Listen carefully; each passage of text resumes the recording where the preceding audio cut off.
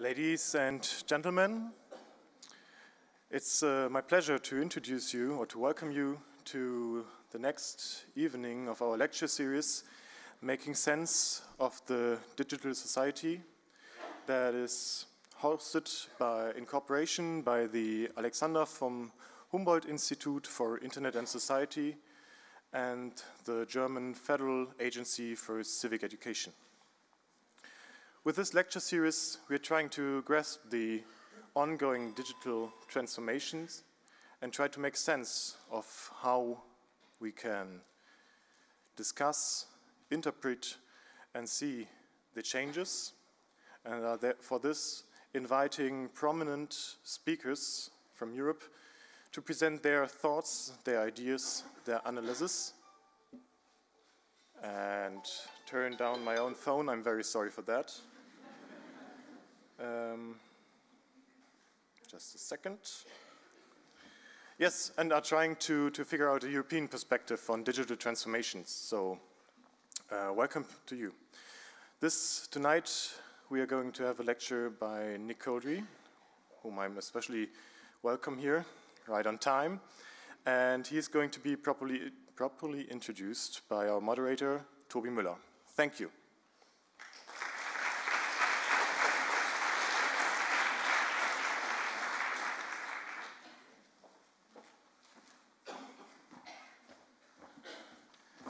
Thank you, Sasha Shire from um, the Federal Agency for Civic Education for having me. Thank you, Jeanette, Hoffmann from Humboldt Institute for Internet and Society. Before I introduce you a little bit more to our guest tonight, let me just point really quickly to the structure of the evening. I see many familiar faces. Uh, many of you probably know uh, how this will enroll. So there's going to be, in a minute, the lecture of our prominent guest tonight. Afterwards, maybe for about 20 minutes, we'll have a conversation, the two of us here on stage. Then it's your turn. There's going to be one or two microphones in the audience. There's also a sort of invisible Twitter wall, hashtag digital society. You can see it here uh, on stage where you can um, ask questions. So maybe after 10 minutes into uh, the audience discussion, we'll ask what's going on on Twitter. And we're also being filmed tonight. There's two cameras, so if you oppose to that, well, let's not get into that. That's Nick's topic uh, of tonight, I guess.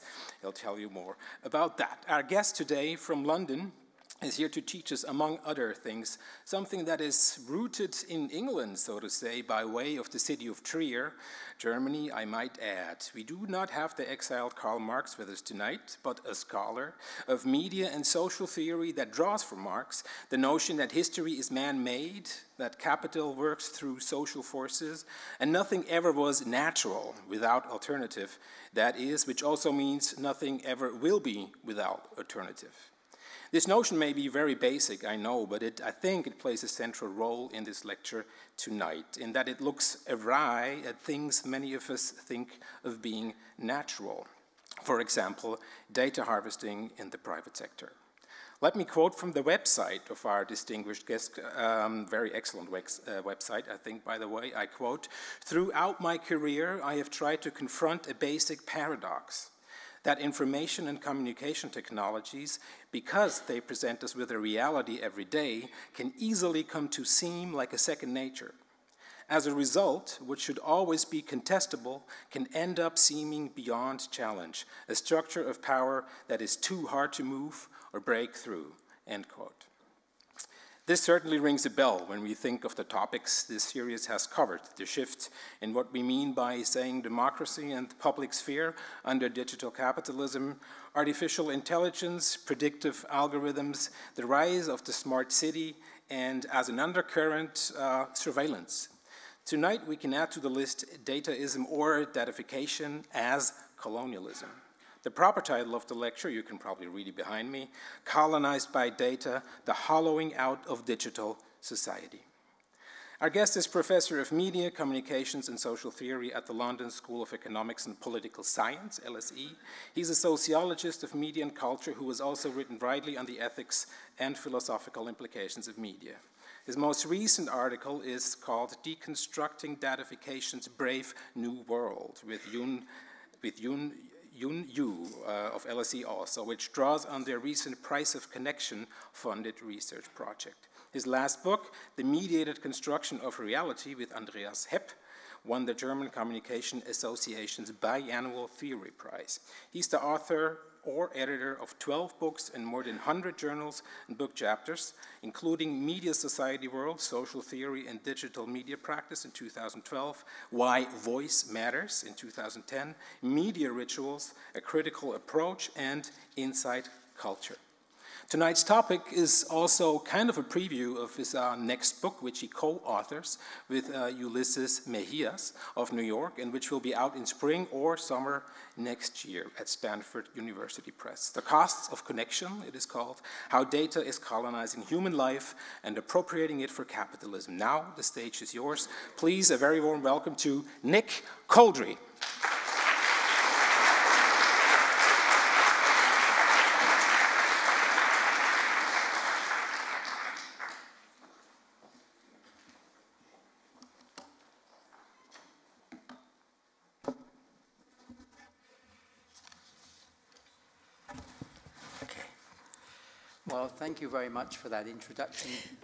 Vielen Dank für diese einleitenden Worte, Tobi. Ich freue mich sehr und ich fühle mich sehr geehrt, dass ich heute hier sprechen darf ähm, und Teil dieser wunderbaren Vorlesungsreihe sein darf. Etwas Großes geschieht mit unseren Daten. Es geht hier nicht nur um Big Data, so wie wir den ähm, Begriff verstehen, oder geht es nicht nur um, das, ähm, um die Anzahl der Daten, sondern es geht um eine große Transformation in Bezug auf unsere Daten. Das wissen wir spätestens seit Edward Snowden 2013 seine Enthüllungen veröffentlicht hat. Die wirkliche Geschichte hinter diesen Enthüllungen war eigentlich nicht die Geschichte, die durch die Medien ging.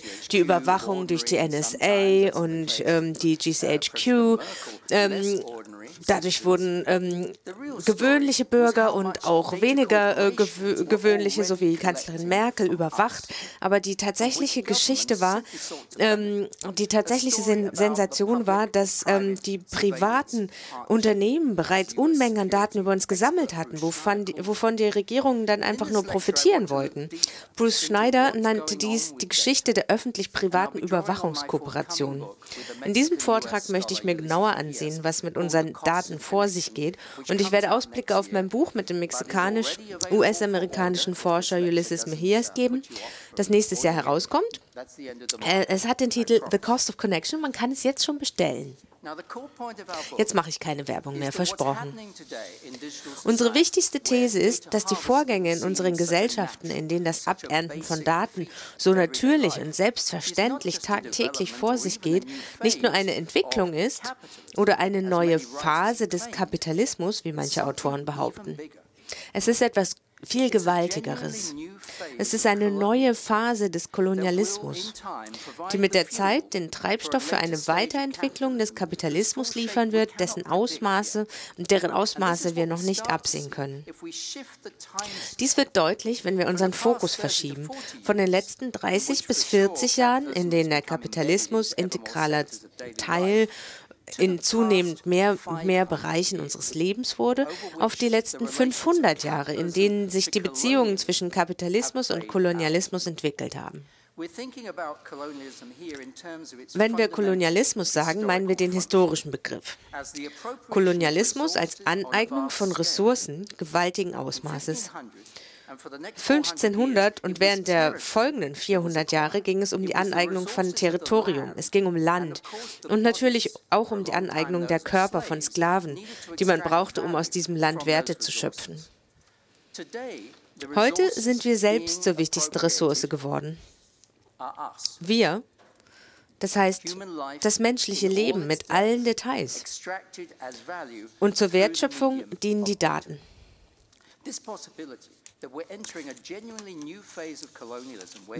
Das ist also die schlechte Nachricht. Es beginnt eine neue Phase des Kolonialismus, in der die Menschen selbst die Ressource sind. Es gibt aber auch eine gute Nachricht. Erstens beginnt diese Art des Kolonialismus gerade erst. Mit gerade erst meine ich hier ungefähr hm, die letzten 20 Jahre. Und zweitens haben wir bereits Erfahrung mit den Folgen des historischen Kolonialismus und damit, wie er jahrhundertelang den Kapitalismus befeuert hat. Wir im Westen sollten ganz genau denjenigen zuhören, die sich besser als wir an die drastischen Folgen des Kolonialismus erinnern. Drittens kennen wir den Kapitalismus gut, da wir die meiste Zeit unseres Lebens oder sogar die ganze Zeit unseres Lebens in kapitalistischen Systemen gelebt haben.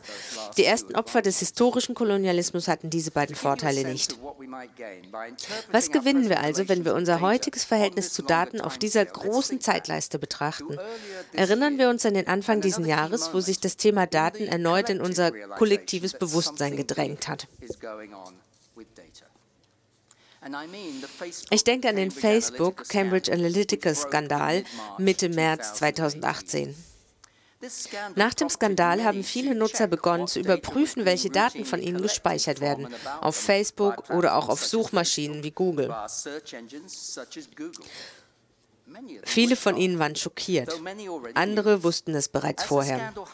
Auf dem Höhepunkt des Skandals sagte Christopher Wiley, Christopher Wiley ein ähm, früherer Mitarbeiter von Cambridge Analytica und sozusagen der Edward Snowden dieses Jahres, er sagte auf Twitter, dass Cambridge Analytica vorhabe, sein Projekt auf Indien auszuweiten. Er sagte, so sieht heutzutage Kolonialismus aus. Jetzt denken einige sicher, jetzt warte mal, das ist zu einfach gedacht. Das Erbe des alten Kolonialismus lebt, wie wir alle wissen, in der Geografie des heutigen globalen Kapitalismus weiter. So zeigt sich ähm, der Kolonialismus in der Macht der amerikanischen Kultur, der Kluft zwischen den Rassen in den USA und Brasilien und in vielen anderen Ländern und auch in der Dynamik der Migration. Beinahe jede Form von Machtungleichgewicht heute beruht in irgendeiner Form auf dem historischen Kolonialismus und wird deshalb von einigen Kritikern als neokolonialistisch bezeichnet. Facebooks Versuch, mit der Facebook Free Basics Plattform Macht in Afrika zu gewinnen, kann man mit Sicherheit als neokolonialistisch bezeichnen, da sie von der historisch gewachsenen Ungleichheit des afrikanischen und US-amerikanischen Kapitals profitieren.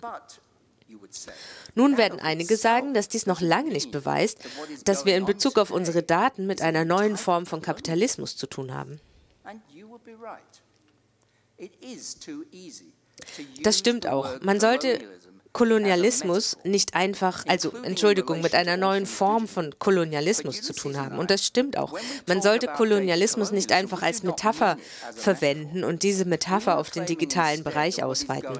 Wenn Ulysses und ich über Datenkolonialismus sprechen, dann meinen wir das nicht metaphorisch. Stattdessen behaupten wir, dass die Aneignung unserer Daten die gleiche Tragweite hat wie die Eroberung von Gold und Land im historischen Kolonialismus. Eine Aneignung digitalen Territoriums, die wahrscheinlich ebenso weitreichende Konsequenzen haben wird wie der historische Kolonialismus. Wir sprechen von einem realen Kolonialismus, nicht von einer Metapher. Und wir finden, dass wir dieser Bedrohung ins Auge blicken sollten. Jedes Mal, wenn wir eine App oder eine Plattform benutzen, stimmen wir den Nutzungsbedingungen zu. Oh, Jetzt hat mein Telefon geklingelt, Entschuldigung. Normalerweise, abgesehen von den ersten Tagen nach dem Cambridge Analytica-Skandal, liest diese Nutzungsbedingungen niemand. Wir klicken einfach auf Zustimmen, weil wir endlich die App oder die Plattform benutzen wollen. Oft wird unser Einverständnis einfach vorausgesetzt und wir werden gar nicht gefragt, auch wenn die GDPR versucht, dies zu ändern. Manche Arbeitgeber ermutigen uns, Fitbit zu benutzen, um unsere Gesundheit zu überwachen, wozu wir Fitbits Nutzungsbedingungen zustimmen müssen, ob wir wollen oder nicht. Und manchmal haben wir keine andere Wahl, als einem Versicherer Zugriff auf unsere Daten zu gewähren oder einem Pro Produzenten eines ähm, smarten Geräts für unser Zuhause. Durch diese tatsächliche oder vorausgesetzte Zustimmung gehen wir Datenbeziehungen ein, wie Ulysses und ich das nennen, und diese haben Konsequenzen, die wir nur sehr unzureichend verstehen. Man wundert sich, wie wir so viel zulassen, ohne uns zu wehren. Aber auch das muss man durch die historische Brille sehen, durch die Brille des historischen kolonialistischen durch die historische kolonialistische Brille. Dies ist ein Dokument aus den frühen Tagen der spanischen Eroberung Südamerikas und nannte sich Requerimiento oder Forderung. Vor etwas mehr als 500 Jahren, das Dokument wurde 1513 von spanischen Juristen geschrieben, ritten die Conquistadores zu einem Dorf mit Goldvorräten und verlasen mitten in der Nacht, ungefähr einen Kilometer vom Dorfeingang entfernt, dieses Dokument auf Spanisch was die Dorfbewohner nicht verstanden. Und äh, sie wussten dies auch, dass sie diese Sprache nicht beherrschten. Hier ist ein kleiner Auszug. Wenn ihr euch nicht unterwerft, dann versichere ich euch, dass wir mit der Hilfe Gottes mit Gewalt in euer Land eindringen und Krieg gegen euch führen werden mit allen uns zur Verfügung stehenden Mitteln und euch unterjochen werden, euch zum Gehorsam gegenüber der Kirche und unserer Majestät zwingen werden. Wir werden euren Besitz rauben und euch so viel schaden, wie es in unserer Macht steht. Am nächsten Morgen ritten sie dann im Dorf ein und nahmen mit unnötiger Grausamkeit das Gold an sich. Man bemerkt hier sofort einen Unterschied. Im heutigen Fall klicken wir tatsächlich auf Zustimmen und geben unser Gold bei der Benutzung der App oder der Plattform ohne Gewalt und freiwillig aus den Händen. Warum das so ist, darüber sprechen wir bald. Zunächst möchte ich die Haupteigenschaften des historischen Kolonialismus mit dem heutigen Datenkolonialismus vergleichen. Die fundamentalen Bewegungen und historische Funktionen des ursprünglichen Kolonialismus kann man auf vier Ebenen analysieren. Erstens die Aneignung von Ressourcen, zweitens die Schaffung neuer sozialer Beziehungen, um diese Aneignung zu stützen, drittens die extreme Konzentration von Reichtum durch diese Aneignung und viertens, die Ideologien, die eingesetzt wurden, um das tatsächliche Geschehen umzudeuten. Davon ist am berühmt-berüchtigsten die Ideologie der Zivilisation. Alle vier Ebenen greifen auch beim Datenkolonialismus. Zuerst erfolgt die Aneignung von Ressourcen dem menschlichen Leben, den menschlichen Erfahrungen und Handlungen. All das wird direkt zu Kapital umgewandelt. Zwar wird uns oft gesagt, dass das nicht stimmt, denn man würde ja nur wertlose Nebenprodukte des menschlichen Lebens an sich nehmen, Nebenprodukte, die sowieso anfallen. Dabei wird übertüncht, wie viel Mühe es macht, diese angeblich natürliche Ressource zu sammeln, zu formatieren, zu extrahieren und zu verarbeiten. Soziale Beziehungen werden von den Datenbeziehungen kolonialisiert, da alle sozialen Beziehungen nach und nach zu Datenbeziehungen werden, die durch maximale Datenextrahierung zu Geld gemacht werden können. Drittens, der Gewinn daraus konzentriert sich hauptsächlich in den neuen kolonialen Konzernen, die Ulysses und ich die soziale Quantifizierungsbranche nennen, Facebook, Google und so weiter. Und letztens und äh, viertens, mit neuen kolonialen Ideologien versucht man zu vertuschen, was in Wirklichkeit vor sich geht. Es geht nicht mehr um die Idee der Zivilisation, sondern um die Idee, dass wir alle immer miteinander in Verbindung bleiben müssen und dass alles in Form von Daten gespeichert werden muss, damit wir zum Beispiel personalisierte Botschaften erhalten können und personalisierte Produkte nutzen können. Es wird postuliert, dass all das einschließlich dem Tracking irgendwie unvermeidlich sei. In unserem eigenen Leben sehen wir also in Bezug auf unsere Daten alle vier Dimensionen des Kolonialismus in Aktion. Es gibt aber auch einen entscheidenden Unterschied. Im Gegensatz zu 1500 haben wir heute bereits 200 bis 300 Jahre Erfahrung mit dem Kapitalismus, auf dem der heutige, dem Kapitalismus, auf dem der heutige Kolonialismus aufbaut. Deshalb braucht der heutige Kolonialismus auch im Allgemeinen keine Gewalt, um effektiv zu arbeiten. Was ist von dieser neuen Sozialordnung zu halten? Karl Marx hat gezeigt, dass die soziale Ordnung des industriellen Kapitalismus auf den Arbeitsbeziehungen beruhte, sowie auf unseren Beziehungen zu Waren, durch die die Arbeitsbeziehungen natürlich erschienen und bis heute erscheinen. Marx war ein erstaunlicher Theoretiker und wenn wir ihn richtig verstehen, räumte er noch eine weitere Möglichkeit ein, nämlich dass der Kapitalismus in der Zukunft auch auf anderen abstrakten Beziehungen als auf Arbeitsbeziehungen beruhen könnte. Vielleicht sind es diese Datenbeziehungen, die wir bereits tagtäglich eingehen, die diese neuen abstrakten Beziehungen darstellen. Diese Datenbeziehungen, die uns bereits zur Gewohnheit geworden sind, sodass es sich nicht mehr anfühlt wie eine Aneignung, unsere Daten herzugeben, sondern einfach wie eine bequeme Lösung.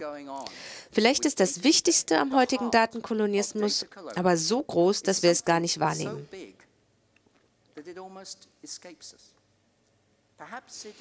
Vielleicht geht es auch um eine neue Unternehmensstrategie. und den Traum der Unternehmen, von dem Ulysses und ich glauben, dass er in Wirklichkeit die Datafizierung vorantreibt, nämlich der Traum davon, Raum und Zeit durchgängig, durchgängig mit Kapital zu verbinden. Soziale Beziehungen auf digitalen Plattformen und anderweitig zu klonen, sodass die Verbindung mit dem Kapital einfach nur natürlich erscheint und dadurch eine neue Sozialordnung zu schaffen, die das menschliche Leben unbegrenzt kapitalisierbar macht. Diese Annexion des menschlichen Lebens, unseres Lebens und ihre Verbindung mit dem Kapital, das ist eine Aneignung, die in der Geschichte ihresgleichen sucht. Es ist eine Annexion, die ohne Gewalt vor sich geht, anders als beim Gold Lateinamerikas, da ein riesiges und allumfassendes Netzwerk von sozialen Beziehungen bereits besteht und die neuen Formen der Datenbeziehungen darauf aufbauen können, solange wir uns darauf einlassen. Wir haben uns tatsächlich schon an den Gedanken gewöhnt, dass es zum Kapitalismus an und für sich im Allgemeinen keine Alternative gibt. Aber die entscheidende Frage ist, gibt es auch keine Alternative zum Kapitalismus in dieser datifizierten Variante? Noch vor 20 Jahren gab es eine Alternative, und zwar die Gesellschaft, in der wir damals lebten. Um konkreter zu werden, werde ich mich für den Rest meines Vortrags auf einen Kernbereich konzentrieren, in dem Datenkolonialisierung hauptsächlich stattfindet, in den sozialen Beziehungen. Marx hat klar gesagt, dass das Kapital der Welt nicht nur auferlegt wird, sondern dass es deshalb so gut funktioniert, weil es von sozialen Beziehungen getragen wird auch von Beziehungen wie zum Beispiel unserer Beziehung zu Waren, die er bekanntlich den Warenfetisch nannte, sowie durch die Sozialordnung, die von diesen Beziehungen geschaffen wurde. Karl Polanyi, der Wirtschaftshistoriker, zeigte, wie das Aufkommen des Kapitalismus im 18. und 19. Jahrhundert nicht möglich gewesen wäre, ohne grundlegende Veränderungen im sozialen Gefüge. Er sagte, dass eine Marktwirtschaft nur in einer Marktgesellschaft existieren könne. Und diese muss erst geschaffen werden durch höchst künstliche, ich zitiere, höchst künstliche Stimulantien, die dem sozialen Gefüge verabreicht werden. Zitat Ende. Hierzu führte laut Polanyi eine große institutionelle Reorganisation im 19. und 20. Jahrhundert in allen Bereichen Arbeit, Land und Finanzen wodurch mit der Zeit, Zitat, alle Transaktionen zu Geldtransaktionen, Zitat Ende wurden. Dazu entstand nach und nach eine Gegenbewegung, die soziale Reformen einführte, die die grausame Gesellschaftsordnung des Industrie industriellen Kapitalismus etwas humaner machen sollte. In Bezug auf unsere Daten befinden wir uns heute in der ersten Phase eines parallelen Prozesses. Die Gegenbewegung ist noch nicht entstanden. Immer mehr Transaktionen verwandeln sich zu Datentransaktionen. Das heißt, dass sie so transfiguriert werden, dass sie die optimale Wertschöpfung durch die Daten ermöglichen. Die zuvor beschriebenen einfachen Datenbeziehungen sind nur die einfachste Form davon. Diese neuen sozialen Formen können eingeführt werden, ohne dass viel Widerstand aufkäme, weil sie auf sozialen Beziehungen aufbauen, die bereits im Kapitalismus nötig geworden waren. Und wegen der Art und Weise, wie wir unsere Welt heutzutage sehen und verstehen. Was mit den Daten geschieht, ist nie vorher dagewesen, und zwar auch in Bezug auf Wissen. Think about. Zu allen Zeiten bestand das Wissen, durch das wir die Welt um uns herum erkennen und verstehen, im Prinzip unabhängig von seinem wirtschaftlichen Wert, obwohl es wirtschaftlichen Wert haben konnte. Aber nun erzählen uns unzählige Firmen und Institutionen aus dem Big Data-Bereich, dass das neue soziale Wissen, das heißt das menschliche Wissen im Allgemeinen, das Wissen über die Menschen, aus dem gleichen Stoff gemacht wird, aus dem der Kapitalismus seinen Wert zieht, nämlich aus Daten. Den Daten, die wir preisgeben, wenn wir Datenbeziehungen eingehen. Wissen und wirtschaftlicher Wert, die Gesellschaft und der Markt werden dann eins.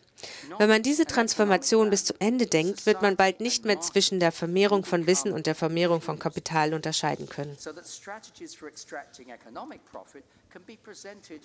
So dass Strategien für den wirtschaftlichen Wert ähm, ohne Unehrlichkeit als Vorschläge dargestellt werden können, das Wissen zu erweitern.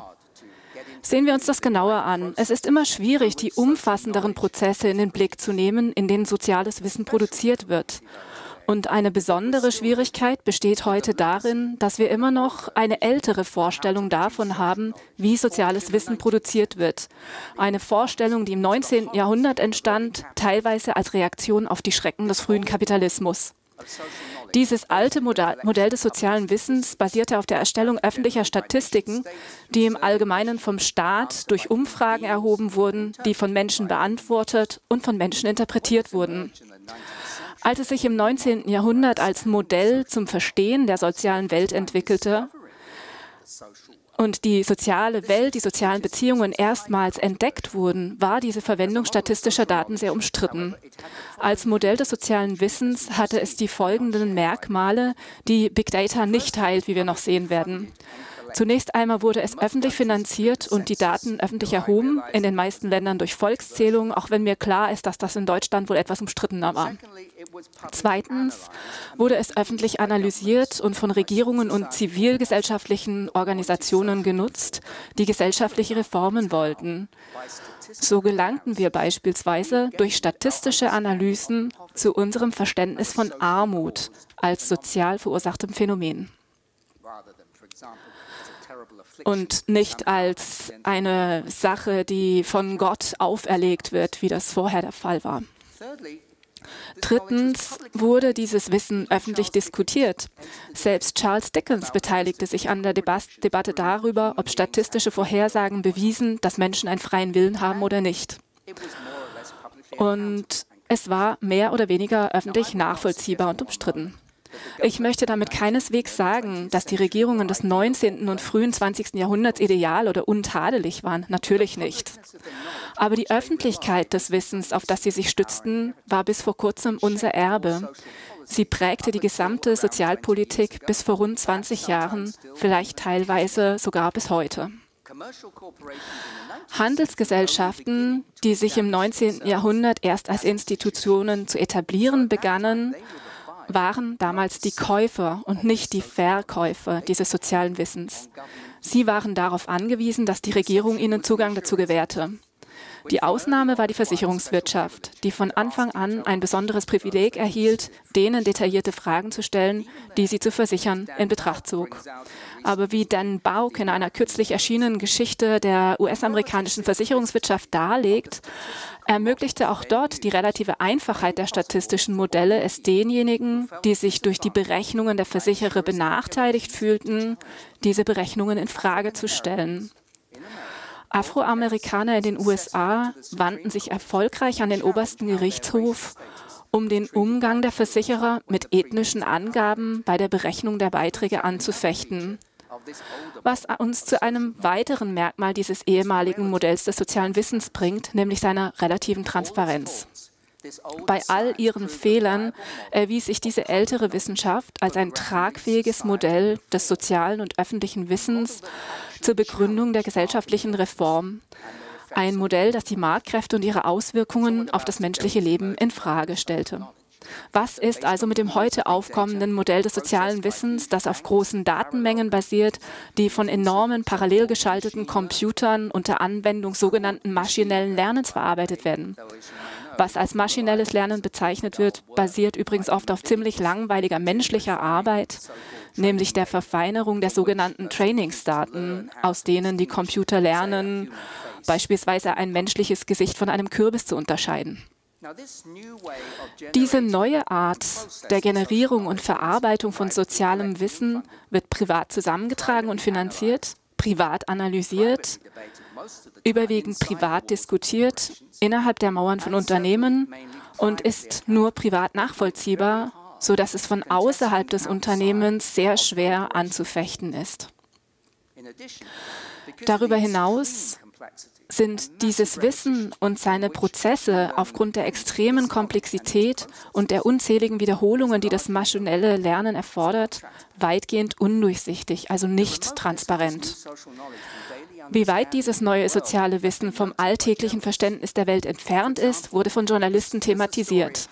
Zum Beispiel gibt es da die Geschichte, wie Anfang des Jahrzehnts Führungskräfte von Uber Gästen auf ihren Partys das Tool GodView zur Überwachung aller für überfahrenen Autos in der umliegenden Stadt vorführten. In San Francisco zum Beispiel. Als Teil des Spektakels zeigten sie Standorte von gerade aktiven Fahrgästen, einfach nur zum Spaß und manchmal hoben sie einfach aus Spaß die Anonymität der Fahrgäste auf. Aber vielleicht spielte Uber damals einfach nur. Nehmen wir also ein anderes US-amerikanisches Unternehmen, das weniger bekannt ist, ShotSpotter. Das ist ein Datenanalyseunternehmen, das den Sektor der Verbrechensprävention unterstützt. Als der CEO von, CEO von einem amerikanischen Richter aufgefordert wurde, Einzelheiten über den proprietären Algorithmus offenzulegen, auf dessen Grundlage der Richter Entscheidungen über das Strafmaß treffen sollte, weigerte er sich. Das ist wie wenn man das Netflix-Abo von jemandem benutzt, sagte er. Und das tut man nicht. Aber das Wissen, das Unternehmen wie ShotSpotter quer durch den gesellschaftlichen Bereich sammeln, ist nicht wie jemandes Netflix-Abo. Es ist Wissen über unsere gemeinsame gesellschaftliche Welt, das für die Öffentlichkeit nachvollziehbar, zugänglich, diskutierbar sein muss. Zumindest dann, wenn die gesellschaftliche Welt immer noch die öffentliche Welt ist, für die wir sie seit 200 Jahren halten. Ich habe ein weiteres Merkmal des algorithmischen Wissens über die soziale Welt noch nicht erwähnt, das eine Reihe von Autoren für beunruhigend halten. Nämlich, dass es nicht darauf beruht, mit den Menschen zu sprechen, sie zu fragen, was sie denken, wie sie die ihnen gemeinsame Welt reflektieren oder interpretieren, was ursprünglich selbst bei den Statistiken der Fall war. Stattdessen besteht das Ziel der künstlichen Intelligenz und damit ihre große Anziehungskraft für Unternehmen und Regierungen, die Zugang zur Rechenleistung haben, auf die das maschinelle Lernen angewiesen ist. Also das Ziel der künstlichen Intelligenz besteht im Finden von Stellvertretern. Stellvertreter, die nach unzähligen Durchgängen der Mustersuche entdeckt werden und die sich als Ersatz erweisen, der für Vorhersagen gut genug ist, wenn zwei Dinge korreliert werden. Es ist unklar, was gut genug eigentlich bedeutet, weshalb Richter in Rechtssystemen wie den USA, die sich zunehmend auf private Anbieter von algorithmischen Modellen verlassen, immer wieder fragen, worauf diese Produkte eigentlich basieren. Allerdings erhalten sie nicht immer Antworten. Wie so oft ist es die Nutzung solcher algorithmischer Entscheidungen durch den Staat, die offenbar die größte Aufmerksamkeit erregt. Zum Beispiel im Bereich der Gesichtserkennung. In China wird die Gesichtserkennung als Technik für lokale und nationale Regierungen zur Normalität. Das Ziel besteht darin, bis 20, 2020 eine Datenbank mit den Gesichtern aller Bürger aufzubauen. Aber es ist auch ein normales Medium für wirtschaftliche Transaktionen. Sie haben vielleicht gelesen, dass man in Shanghai für sein Kentucky Fried Chicken ganz einfach so bezahlen kann, dass man in eine Kamera lächelt. Ich schätze, Lächeln hilft immer dabei. Kürzlich wurde berichtet, dass eine kalifornische Burgerkette das nun auch in den USA versucht. Aber Gesichtserkennung ist nur ein sehr kleiner Teil davon, wie algorithmische Arten des Wissens jeden Bereich der sozialen Interaktion kolonisieren. Wir sehen das auch im Marketing, in den Anzeigen, die auf ihre Online-Präsenz ganz fein abgestimmt sind. Wir sehen das bei Versicherungen, im Fahrzeugmonitor, im Armaturenbrett, der zu Prämien führt, wenn man ihn im Auto akzeptiert. Wir sehen das in der Logistik, in den detaillierten Fahrtenschreibern, die die meisten Lkw-Fahrer mittlerweile in ihren Fahrzeugen haben müssen. Und natürlich sehen wir das in der Wissenschaft der Betriebsführung selbst. Zum Beispiel im Badge, das die MIT-Psychologin Sandy Pentland für jeden Arbeitsplatz vorschlägt, um zu beobachten, wie die Mitarbeiter miteinander interagieren, um das Verständnis der Arbeitskultur des Unternehmens zu fördern. Das sind nur die Bereiche des täglichen Lebens, die wir sowieso schon für Teile der Wirtschaft und der Wertsteigerung gehalten haben. Das erscheint uns also nicht sonderlich schockierend. Aber es gibt weitere Bereiche, die die Domäne des Datenkolonialismus radikaler erweitern. Erstens alle Geräte des täglichen Lebens, zum Beispiel Kühlschränke und Waschmaschinen, die zunehmend über das Internet der Dinge mit Datenbeziehungen verknüpft sind. Marketing-Spezialisten denken bereits weit in die Zukunft und wollen sogenanntes Produktbeziehungsmanagement in sämtliche Konsumgüter integrieren, um deren Verwendung nach dem Kauf kontinuierlich überwachen zu können. Bei Autos wie dem Tesla kann das sogar cool erscheinen. Zweitens, in vielen Ländern entscheiden die Menschen selbst und wetteifern sogar darum, sich durch Geräte wie Fitbit selbst zu verfolgen. In der Marketingbranche werden externe Tracking-Geräte nur als ein erster Schritt betrachtet. Es wird zur Mode, Computerchips unter die Haut zu implantieren die als eine Art Ausweis dienen, der die Bewegungen in kontrollierten Umgebungen beschleunigen kann. In Schweden sagte ein Befürworter solcher Chips, dass, ich zitiere, alle Wearables, die wir heute tragen, in fünf bis zehn Jahren implantierbar sein werden. Ende des Zitats. Aber der Datenkolonialismus dehnt sich auch auf den einen Bereich aus, von dem wir uns bislang erhofften, dass er über der wirtschaftlichen Wertschöpfung steht nämlich auf die Institutionen, die das soziale Leben regeln. In den USA wächst die Debatte über den Einsatz von Algorithmen vor Gericht, auf die ich noch zurückkommen werde.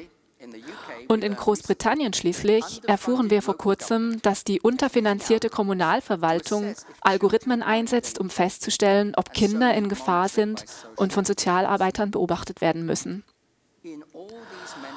Auf all diese verschiedenen Weisen, ich könnte die Liste fortsetzen, kollaborieren wir mit der öffentlich-privaten Überwachungspartnerschaft, die, wie Bruce Schneier sagt, die ganze Welt umfasst. Aus der Sicht der Marketingleute, den führenden Produzenten dieser neuen Form des sozialen Wissens, ist das kein Verlust, sondern für sie ist das der Gewinn einer sozialen Welt, mit der man interagieren und die man beeinflussen kann. Sie stellen sich vor, dass diese Welt sich weiter ausdehnt oder besser gesagt vertieft, da immer mehr Aspekte dessen, was wir für unser inneres Leben gehalten haben, irgendwie externalisiert werden und eine Oberfläche darstellen, die sich verfolgen lässt. Diese Aneignung des Stoffes, aus dem unser Leben besteht, gilt in der Marketingbranche bereits als banal. Ich möchte Ihnen dafür zwei Beispiele geben. In einem Bericht mit dem Titel The Wearable Future stellt sich PricewaterhouseCoopers eine Welt vor, in der, ich zitiere, Marken sogar Zeichen des Körpers nutzen könnten, um maßgeschneiderte Botschaften anzubringen. Zitat Ende. In einer solchen Welt gäbe es grenzenlose Marketingmöglichkeiten. Zum Beispiel, der Sensor zeigt, dass du durstig bist. Hier ist ein Gutschein für intelligentes Wasser. In der Zwischenzeit heißt es in einem Beraterbericht für die Versicherungswirtschaft mit dem Titel Das Internet der Dinge, Chancen für Versicherer, dass Versicherer Beziehungen mit dem Internet der Dinge anreichern können und sie dafür nutzen können, um sich umfassender mit Kunden zu vernetzen und deren Verhalten zu beeinflussen. Ich will natürlich nicht sagen, dass die Verfasser dieser Berichte und diejenigen, die darauf aufbauen wollen, böse Kolonialisten sind, die dem menschlichen Leben absichtlich Gewalt antun wollen. Sie wären zweifellos entsetzt über einen solchen Vorwurf. Aber das liegt, denke ich, daran, dass sie die Ideologie des Datenkolonialismus bereits so verinnerlicht haben. Gehen wir aber nicht davon aus, dass diese massive Transformation des sozialen Wissens für alle gleich ablaufen wird. Wie wichtige US-Forschungsarbeiten von Virginia Eubanks und anderen gezeigt haben, entstehen den Bevölkerungsgruppen, die bereits schutzbedürftig und arm sind, am ehesten Nachteile durch versteckte Entscheidungen von Ministerien, Dienstleistern, Bonitätsprüfern, Versicherern und so weiter. Umgekehrt sind diese Menschen am wenigsten in der Lage, sich dagegen zu wehren es kostet Geld, vor Gericht zu ziehen. Und wenn sie auf Arbeitssuche sind, ist die schlecht bezahlte Arbeit, die sie bekommen können, häufig mit dem Zwang verbunden, noch mehr Überwachung zu akzeptieren, als es bei Arbeiten mit höherem Status normal ist. Eine soziale Welt entsteht, in der die Anfälligkeit für und die erzwungene Akzeptanz von kontinuierlicher Überwachung mit hoher Wahrscheinlichkeit zu einer der wichtigsten Dimensionen der Ungleichheit werden wird. Besteht die Gefahr, dass wir in dieser Kritik im Stillen die Vergangenheit idealisieren obwohl natürlich Teile der Bevölkerung zu Opfern gemacht, mit Stereotypen belegt und stillschweigend von den Ressourcen ausgeschlossen wurden? Ich glaube nicht. Vorausgesetzt, wir sind uns im Klaren darüber, was aus unserem Bild der sozialen Welt herauszufallen droht, dass sich diese neue Form des sozialen Wissens selbst installiert. Es gibt mindestens drei Antworten auf diese Frage. Erstens und am unmittelbarsten.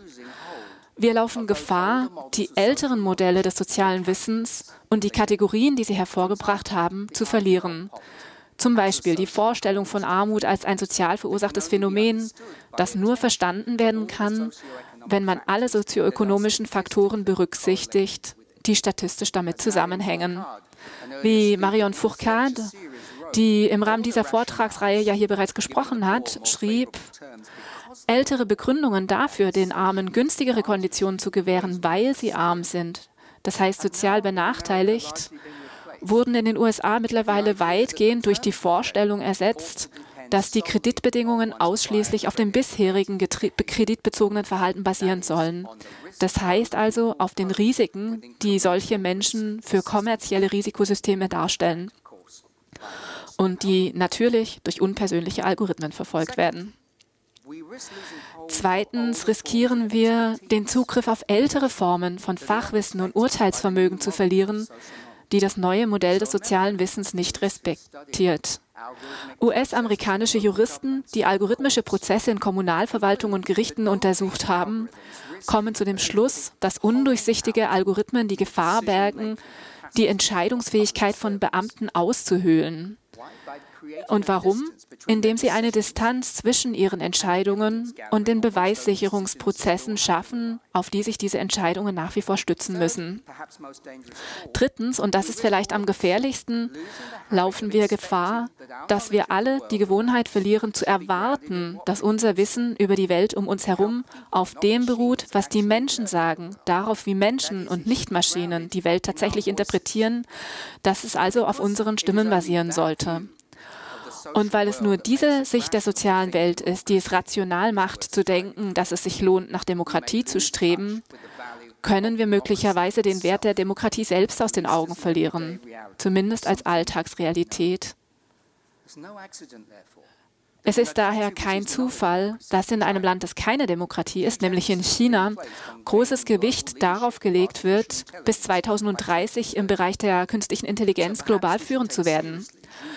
Vielleicht sollten wir Zhu Bo, ein Mitglied der Chinesischen Akademie für Militärstudien, ernst nehmen, der im September in der Financial Times spekulierte, dass, ich zitiere, der Weg zum Wohlstand nicht mehr über die liberale Demokratie führt. Ende des Zitats. Es ist vielleicht ebenfalls kein Zufall, dass es Verbindungen zwischen einigen US-amerikanischen Persönlichkeiten, die im Bereich der KI führend sind, wie Peter Thiel, dem Gründer von Palantir, und rechtsextremen Denkern gibt, die jegliche Loyalität zur Demokratie fallen gelassen haben. Zumindest berichten das Journalisten. Es gibt natürlich auch Gegenbeispiele, wie die oft genannte Vision Estlands für eine digitale Gesellschaft, in der der Staat die sichere Verwaltung personenbezogener Daten garantiert, deren Eigentum, wenn auch vielleicht nicht die Kontrolle, beim Individuum verbleibt. Die estnische Vision betrifft jedoch nur die Beziehungen zwischen dem Einzelnen und dem Staat. Sie betrifft nicht den breiteren Markt für Daten, der für den gesamten Unternehmenssektor in Estland und den meisten anderen Ländern typisch ist. Schließlich muss ich als Wissenschaftler eingestehen, dass es eine seltsame Beteiligung der Sozialwissenschaften an diesen Entwicklungen gibt. Ich meine damit die neue Forschung von der Verhaltensökonomie bis zur Kulturtheorie, die stärker daran interessiert ist, die Idee eines rationellen menschlichen Subjekts in Frage zu stellen oder sich sogar darüber lustig macht und diese Idee nicht länger verteidigt.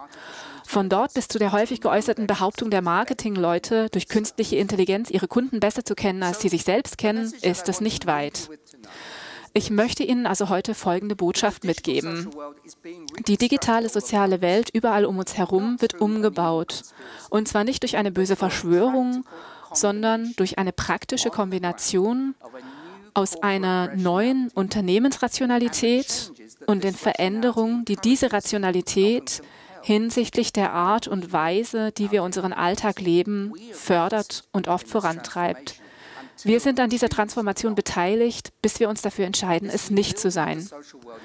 Dieser Umbau der sozialen Welt beinhaltet sozusagen ein Wiederauffüllen der Tanks des sozialen Wissens, erfüllt sie mit einer anderen Art von Informationen, die weniger auf soziale, politische oder auch menschliche Einflüsse reagiert, als wir uns das vom sozialen Wissen einst dachten.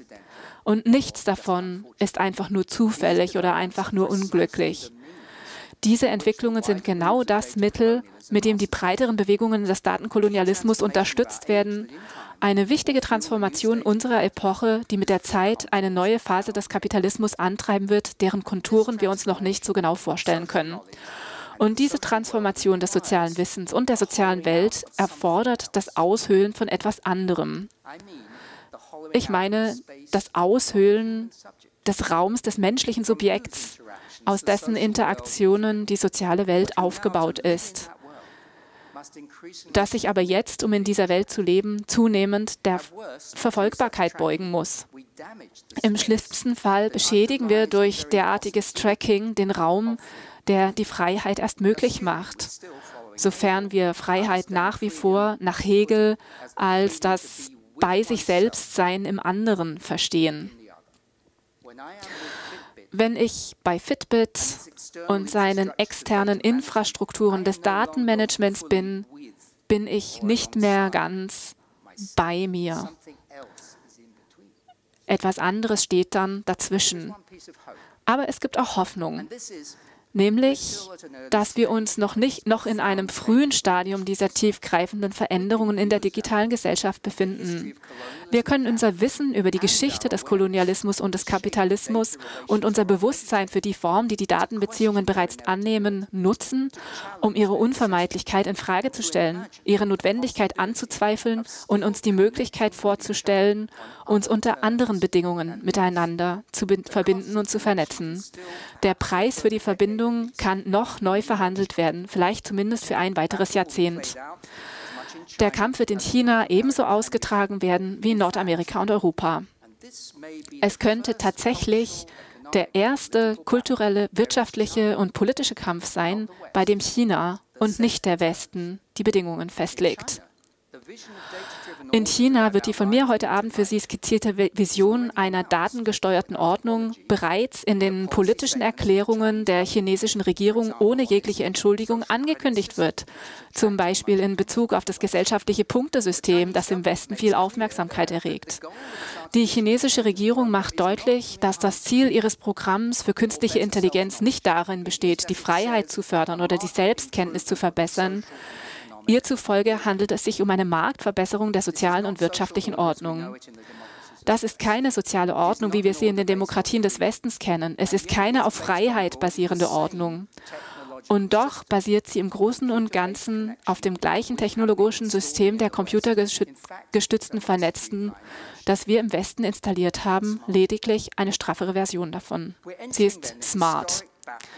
Wir treten also in einen historischen Kampf um die Werte der Freiheit ein, von denen wir glaubten, dass unsere Demokratien darauf aufbauen. In der ersten Phase wird dieser Kampf ebenso ein Kampf um die Vorstellungskraft sein, wie um politische Lösungen oder technologische Anpassungen. Die erste Frage, die wir uns daher stellen müssen, lautet daher nicht, wie bauen wir unterschiedliche Infrastrukturen für die Wirtschaft und für die soziale Vernetzung. Stattdessen sollte die erste Frage lauten, ist das die Zukunft der digitalen Gesellschaft, die wir uns vorgestellt hatten und die wir eigentlich wollen? Wenn nicht, dann müssen wir damit anfangen, uns eine andere Zukunft vorzustellen. Und das ist nicht einfach. Ich stimme dem Historiker Yuval Harari zu, der kürzlich schrieb, dass die Ablehnung der Ideologie des Dataismus nicht nur die größte wissenschaftliche Herausforderung des 21. Jahrhunderts ist, sondern auch das dringendste politische und wirtschaftliche Projekt. Die Herausforderung wird dadurch noch größer, dass die sozialen Veränderungen weitgehend im Verborgenen stattfinden. An dieser Stelle möchte ich einen meiner deutschen Lieblingsautoren zitieren, W.G. Sebald. Ihm zufolge besteht die Gefahr, dass sie zu einer stillen Katastrophe wird, die nahezu unbemerkt eintritt. Jetzt ist es an der Zeit, unsere Augen weit zu öffnen für das, was mit Daten geschieht. Deshalb haben Ulysses und ich unser Buch geschrieben, das auf den großartigen Arbeiten vieler anderen Autoren aufbaut.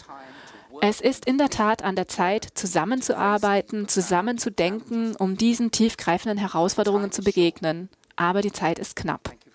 Vielen Dank fürs Zuhören. Vielen Dank, Nick, für diesen sehr starken Vortrag manchmal ziemlich traurige Aussichten und ähm, eher kleine Hoffnungen für die Zukunft. Ich möchte ähm, eine Frage stellen zu den Kosten der Verbindungen und wie wir das so neu aushandeln können in den nächsten Jahren. Da stell, äh, dazu möchte ich erst eine Frage stellen und dann werden wir auch Fragen aus dem Publikum entgegennehmen und auch von Twitter. Ich ähm, denke, es gibt äh, eine Kontroverse ähm, in Ihrem Vortrag und ähm, die Kontroverse, die bezieht sich auf den Kolonialismus. Ähm, Sie sagen oder du sagst ja bewusst, dass es für dich keine Metapher ist, sondern du sagst, dass es hier um einen tatsächlichen Kolonialismus ähm, sich handelt. Und dann ähm, äh, hast du in deinem Vortrag äh, beschrieben, was der historische Kolonialismus war und ihn äh, verglichen zu dem, was wir heute erleben. Äh, die Conquistadores haben im 16. Jahrhundert das Requerimento vorgelesen und äh, du meinst, ähm, dieses äh, Requerimento kam den Nutzungsbedingungen gleich, die wir heutzutage vorgesetzt bekommen und ähm, zu denen wir sogar denen wir sogar zustimmen, weil es einfach zu schwierig für uns ist, ähm, sie abzulehnen. Ähm, würdest du sagen, das ist auch keine Metapher? Würdest du das wirklich gleichsetzen? Sind die Nutzungsbedingungen der heutige Kolonialismus und wieso ist das so verführerisch für uns? Nun, es ist eine Analogie. Und äh, wir wollen damit die Vorstellungskraft ähm, der Leser anregen. Das Buch, ähm, ähm, die Aussage des Buchs, ähm, der Wert des Buchs hängt nicht davon ab, ob man jetzt diese eine Analogie überzeugend findet oder nicht, aber wir fanden das schon sehr interessant. Und ähm, natürlich gibt es diese Nutzungsbedingungen äh, und im äh, Cambridge Analytica-Skandal äh, wurde vielen Leuten erst bewusst, was sie die ganze Zeit für ähm, Zugeständnisse machen. Als ähm, ich die erste Version äh, des Buchs fertig hatte, ähm, hatte war der Skandal äh, gerade erst stattgefunden. Ähm, Facebook hatte sich irgendwie auf meinem Telefon deinstalliert und ich dachte irgendwie sofort, oh, ich muss das gleich wieder installieren. Und ähm, dann habe ich ähm, die Nutzungsbedingungen tatsächlich einmal gelesen. Und ich habe dann automatisch Zustimmen ähm, gedrückt. Und ich habe meine Frau gebeten, einen Screenshot von den Nutzungsbedingungen zu machen, bevor ich Zustimmen ähm, gedrückt habe. Und äh, das ist das Foto, das ich für die Folie verwendet habe. Ich bin also auch Teil dieser äh, ganzen äh, Bewegung, dieses ganzen Trends. Ich mache das gleiche wie die anderen Nutzer. Ich klicke einfach auf Zustimmen. Äh, bei den Conquistadores ähm, gab es natürlich ganz schreckliche äh, Gewalt. Es ist beinahe unvorstellbar, was sie den Menschen damals antaten. Aber ähm, darum geht es mir hier nicht, sondern es geht mir um, das, äh, um den abstrakten Zusammenhang. Ähm, es ging ihnen darum, legalen Zugriff auf das Gold zu bekommen. Sie wollten, sie haben dieses äh, Requerimento, dieses Dokument im Gericht entwerfen lassen, weil sie legal handeln wollten. Sie wollten sozusagen ähm, ein implizite, eine implizite Zustimmung der Einwohner äh, bekommen. Und so ist es auch bei den Nutzungsbedingungen. Wir verstehen auch die Sprache der Nutzen, Nutzungsbedingungen nicht. Und ähm, Oft äh, bekommen wir diese Nachrichten mitten in der Nacht, wenn wir gerade die App äh, neu laden. Und ich finde also schon, dass diese Analogie auch äh, gewissermaßen funktioniert. Ähm, und ähm, auch andere Leute haben gesagt, dass ähm, Facebook und andere Unter Unternehmen einen neokolonialistischen Anspruch haben. neokolonialistisch. Aber ich sage, es ist nicht nur neokolonialistisch, sondern es, es, ist, es ist purer Kolonialismus in Bezug auf unsere Daten. Indien hat ähm, sich gegen Facebook Free Basics gewehrt, erfolgreich. Hier scheint es also Alternativen zu, gehen, zu geben. Ja, das war die Zivilgesellschaft, die das Angebot durchschaut hat und ähm, die durchschaut hat, dass es hier darum ging, äh, sich die Daten der Bürger anzueignen. Und natürlich Marktanteile. Reden wir doch noch weiter über Kolonialismus. Ich habe einen Artikel ähm, von dir gelesen und dort schriebst du, dass ähm, wir die Rationalität des äh, Datenkolonialismus ähm, angreifen müssen. Ähm, die große Frage hier ist, wenn wir in einer Zeit des Datenkolonialismus leben, wie können wir denn eine Dekolonialisierung herbeiführen? Nun, ähm, durch Vorstellungskraft. Das sagte ich am Ende meines Vortrags. Es geht hier um sehr praktische, bequeme soziale ähm, und wirtschaftliche Lösungen und Gesellschaftsordnungen. Und wir alle machen mit. Und wenn ich mich morgen bei Facebook abmelde, dann äh, bewirkt das natürlich gar nichts. Wenn das aber Hunderte und ähm, Hunderte äh, von Nutzern machen, dann kann es schon etwas bewirken. Vielleicht fangen Sie dann an, Instagram zu nutzen, das auch zu Facebook gehört, aber ähm, es gibt eben nur so und so viele Unternehmen in der sozialen Quantifizierungsbranche. Wir sprechen oft über die sozialen Medien in diesem, zu diesem Thema, wenn es um dieses Thema geht, aber das ist nur ein kleiner Teil des ganzen Datenkolonialismus. Wenn wir uns heute die ganzen Unternehmen ansehen, die sich mit Logistik beschäftigen, wenn sie beschreiben, was für Sie ein rational, eine, eine, rationale Unternehmensführung ist, dann ist ähm, dabei immer auch das Sammeln von Daten ähm, impliziert und das Auswerten von äh, Daten. Und da, dabei geht es ganz oft auch um körperliche Überwachung der Angestellten. Das ist etwas, was man in der ganzen Wirtschaft beobachten kann. Und ähm, ich denke, dass es hier um, um, ein, um eine massive kollektive Anstrengung geht, ähm, wenn wir uns äh, diesen Trends entgegensetzen wollen. Und der erste Schritt ist, die Vorstellungskraft zu benutzen. Wir müssen ähm, uns versuchen vorzustellen, ähm, was es für andere Methoden geben kann. Wir müssen uns dieser Logik widersetzen, die uns erzählen will, dass ähm, alles so funktionieren muss, dass es gar nicht anders sein kann. Komischerweise hat es ja noch vor 30 Jahren anders funktioniert und das ging auch. Wer ähm, werden denn die Menschen sein, die diese Art von Logik ähm, in Frage stellen? Werden das Wissenschaftler sein oder andere Menschen? Ähm, ich habe noch eine Frage zu Arbeitsbeziehungen und Ressourcen. Du sagst, dass ähm, der Datenkolonialismus ähm, das Leben selbst als ähm, Wert schöpft. Und ähm, das klingt äh, für mich so ein bisschen äh, wie das, was Journalisten und äh, Menschen im Showbusiness tagtäglich tun. Ähm, das menschliche Leben, äh, soziale Interaktion auch als Arbeitsbeziehung zu definieren. Ist das denn eine ähm, neue Erkenntnis? Ist das etwas, was äh, tatsächlich durch den Datenkolonialismus entsteht?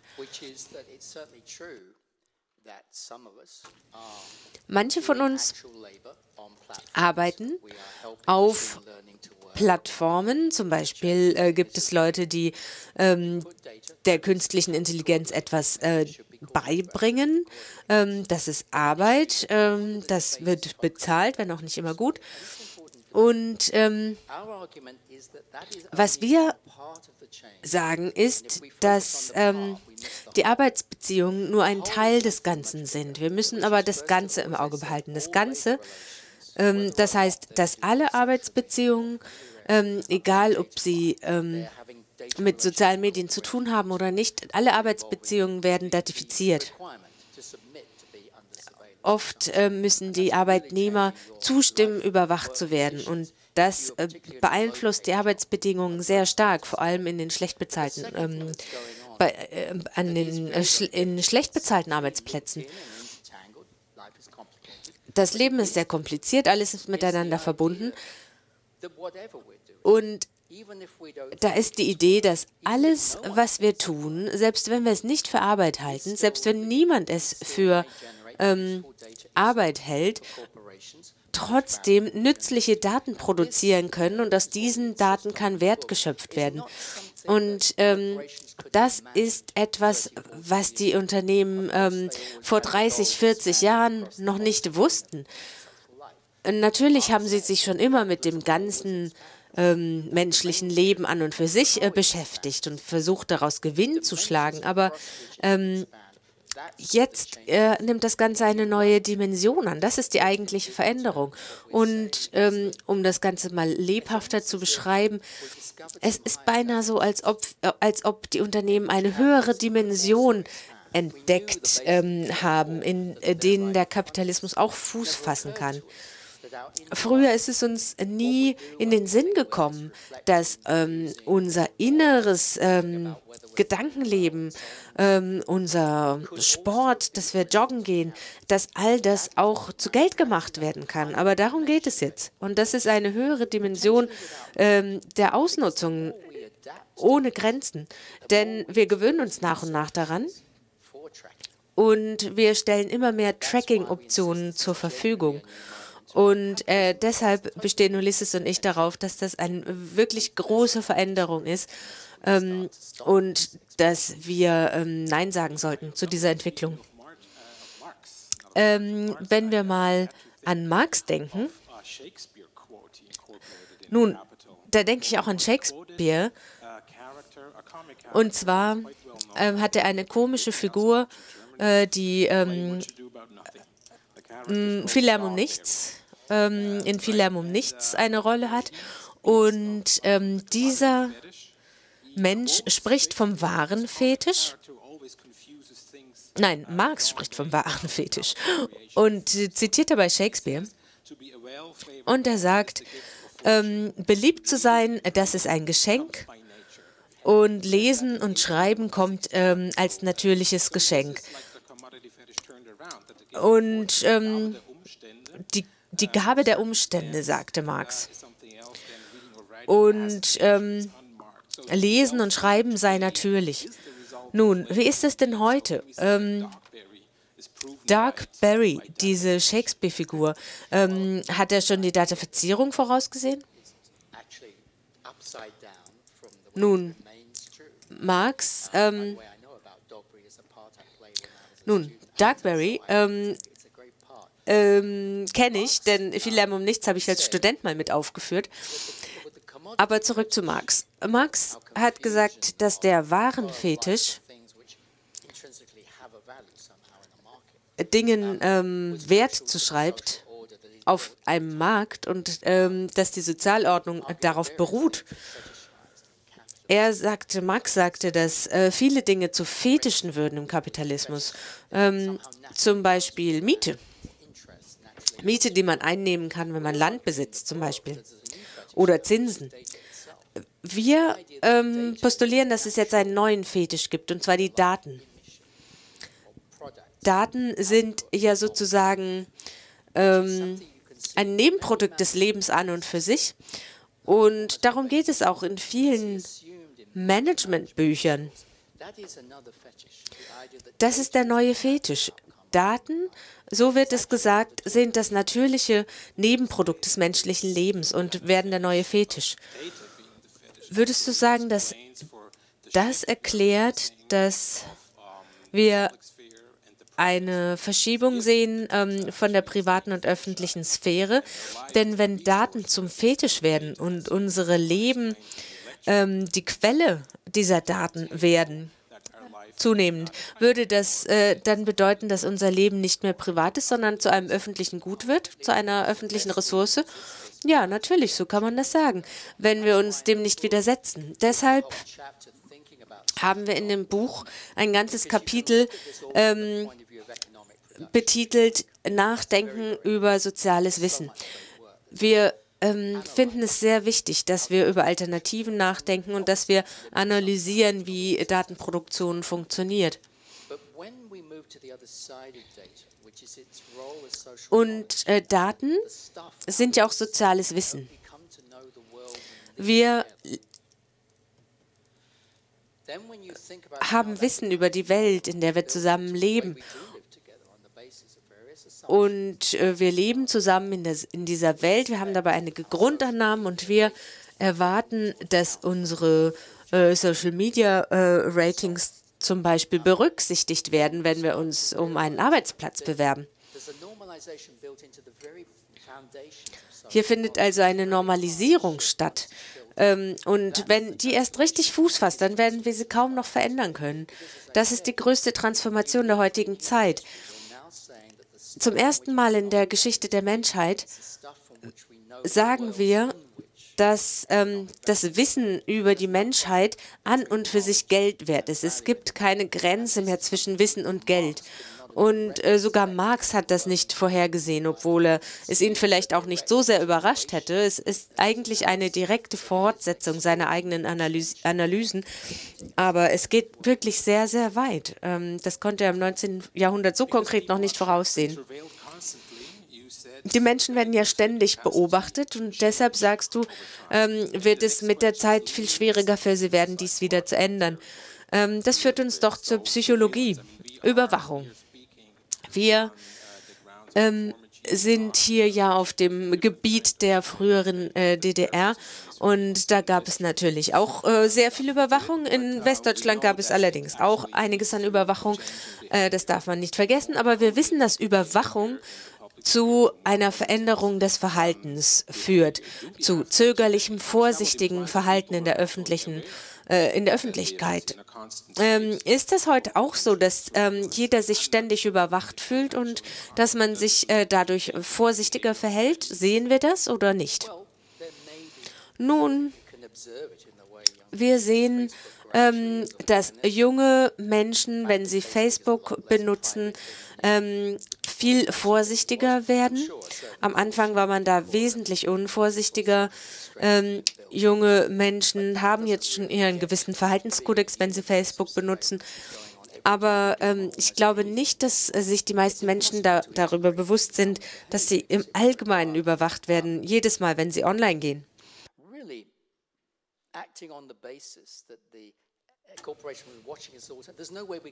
Wir können. Ähm, nun, es gibt einen Grund, äh, warum ich mich so ausgedrückt habe, wie ich es habe. Ich glaube wirklich, ich glaube nicht daran, dass die Richtung, in die wir uns bewegen, dass diese Unternehmenslogik, ähm, die zur dauerhaften Überwachung jeder menschlichen Aktivität führt und dass man behauptet, dass das natürlich ist und so wie Kevin Kelly sagt, äh, dass wir das akzeptieren müssen, damit es technischen Fortschritt ähm, geben kann. Ich glaube, dass es nicht zu Freiheit passt. Ich glaube, dass es nicht nicht mal zur grundlegendsten Art von Freiheit passt. Hegel sagte, dass ähm, Freiheit auch bedeutet, ähm, bei sich selbst zu sein, auch wenn man mit anderen zusammen ist. Und ähm, Hegel ähm, war sehr wichtig für andere Philosophen und Theoretiker und er hat verstanden, dass Freiheit ähm, auch eine Beziehung ist. Ähm, bei Freiheit, sagt er, geht es nicht darum, dass ich mit dir konkurriere. Er sagt, dass ähm, das äh, nicht hilfreich ist und auch ich finde, dass uns das gegen die Überwachung nicht ähm, weiterhilft. Denn die meisten sind bereit, Freiheit für Bequemlichkeit aufzugeben. Aber äh, vor 200 Jahren hat Hegel so ähm, hervorragend zusammengefasst, dass Freiheit ist, ähm, dass Freiheit ist, dass wir einander erkennen, dass wir aber trotzdem bei uns sind, auch wenn wir zusammen sind und dass wir uns dann begegnen können und uns austauschen können. Er sagt, ähm, die Freiheit ist, bei sich zu sein, wenn man in einem sozialen Gefüge ist, unserem sozialen komplexen Gefüge, das wir eben einfach durchlaufen müssen in unserem Leben. Er sagt aber, dass wir immer zu uns selbst zurückkehren müssen. Das verändert, unser Selbst verändert sich auch ständig. Wir werden etwas weiser, wir machen weniger Fehler, wir werden etwas klüger, wir werden bescheidener im Laufe unseres Lebens. Und am Ende des Lebens steht natürlich ähm, der Tod. Und äh, Dave Eggers hat ein Buch geschrieben, The Circle, der Kreis. Und in diesem Buch sagt er, dass wir diese Freiheit nicht für Bequemlichkeit aufgeben dürfen. Darum geht es auch in seinem Buch. Er sagt, dass das ähm, absurd sei, gefährlich und ähm, manche seiner Figuren in dem Roman werden dadurch verrückt.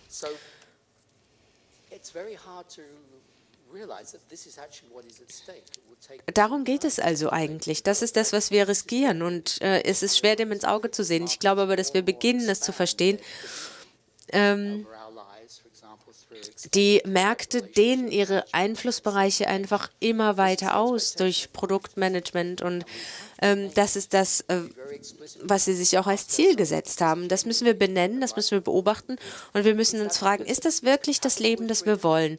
Und passt das mit unserem Bedürfnis nach Freiheit wirklich noch zusammen oder ist uns die Freiheit egal geworden? Vielleicht müssen wir Bequemlichkeit und Freiheit auch umdefinieren. Vielleicht, um es mal polemisch zu sagen, ähm, vielleicht ähm, müssen wir ja auch ähm, nun das so sehen äh, wie ähm, im Berghain in Berlin, dem ähm, Club. Da darf man jetzt kein äh, Telefon mehr mit reinnehmen. Man darf keine Fotos machen, sonst wird man sofort rausgeworfen. Und äh, bei manchen Konzerten äh, gibt, kriegt man auch eine kleine Tüte, in äh, die man das Telefon ähm, stecken soll. Und äh, viele Menschen fangen an, diese Art von Freiheit zu genießen in der Nähe vom Hauptbahnhof in äh, Berlin. Da gibt es eine große Sauna, wo viele Menschen eben nackt ähm, rumlaufen natürlich. Und äh, da muss man das Telefon auch ähm, in äh, das Schließfach sperren und darf es nicht mitnehmen. Ja, und ähm, das ist ein wichtiger Punkt. Wenn man viel Geld hat und einen teuren Eintritt bezahlen kann, dann wird man immer die Möglichkeit haben, sich kleine Freiheiten ähm, zu gönnen. Wenn man aber wenig Geld hat und ähm, zum Beispiel in drei oder vier Jobs arbeiten muss, um überhaupt um die Runden zu kommen, dann sind das meistens auch Jobs, wo man ständig das Telefon bei sich haben muss, wo man überwacht wird, wo man ähm, den ganzen Tag von Kameras verfolgt wird. Es wird wahrscheinlich ähm, nie dazu kommen, dass alle den Verlust der Freiheit ähm, so schmerzlich empfinden äh, wie ich in diesem Moment. Es wird da Gewinner geben. Es wird Menschen geben, die von der neuen Sozialordnung ähm, Profit machen. Natürlich die die Vorstände der Datenunternehmen, die werden sich nicht, ähm, die werden sich nicht äh, tagtäglich überwachen lassen. Ich verwende übrigens auch Amazon. Und Amazon hat ein Programm namens Voice Picking ihre Mitarbeiter bekommen Anweisungen über ihre Kopfhörer und zwar den ganzen Tag. Und ähm, sie müssen den ganzen Tag ihre Arbeit genau nach diesen Anweisungen machen. Jeff Bezos, äh, der Vorstand von Amazon, der hat, glaube ich, keinen Kopfhörer auf. Ich glaube, der hat ganz schön viel Freiheit, wie er seinen Tag verbringt. Und ähm, das ist eine Tendenz. Ähm, reichere Menschen werden sich Freiheit erhalten können, ärmere Menschen nicht. Und ähm, das, das ist ein Problem. Die letzte Frage, bevor wir das Publikum bitten, Fragen zu stellen, bezieht sich auf Ungleichheit. Du sagtest, dass ähm, wir